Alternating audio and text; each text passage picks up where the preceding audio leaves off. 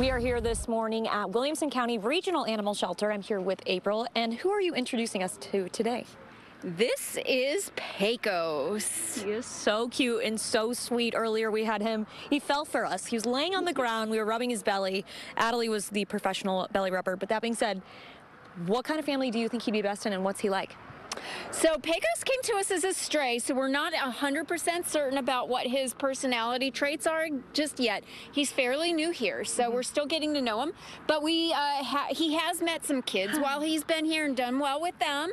Um, we know he is not a fan of chicken. Okay.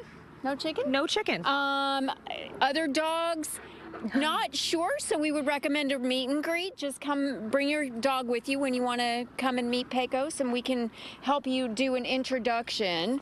And uh, yeah, but he's super laid back so and sweet, and I mean, he's going to make a great companion. Yeah, he's going to be out of here hopefully super soon because he is just calm and chill. Do we know how old he is?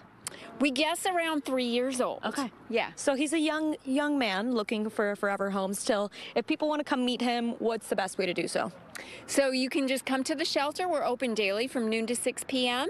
If you would like the convenience of an appointment, email adoption at wilco.org and we'll get you scheduled with an appointment to have Pecos come warm your feet. Yeah, no, he is really keeping me warm even though it's so hot outside. Um, what else is going on at the shelter that we should know about?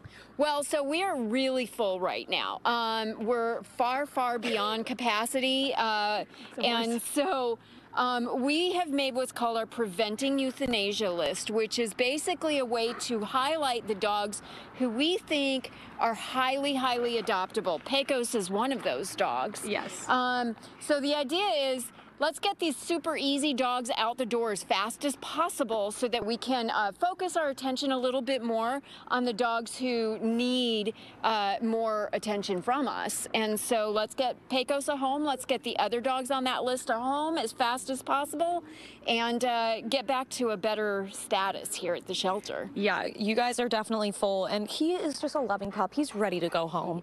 Like, I want to take him home. Me too. April, are there any events coming up or ongoing that that we should know about? So, well, right now adoptions are just $2 for any of the dogs at the shelter. Now, it doesn't matter what their age or size. So, $2 to adopt any dog, $5 to adopt any cat. Um, so that again doesn't matter age or size. Uh, all puppies, all kittens, all dogs, all cats. Um, and uh, yeah, that's what's going on around here. And it's also Clear the Shelter Month all oh, August yeah. long. Yeah, Is that's there, true. Yeah, you want to touch on that? So we are going to be hosting a big Clear the Shelters event on August 26th. Um, and on that day, every pet in the shelter will be free to adopt. Oh, wow. Okay, yeah. so mark your calendars. August 26th.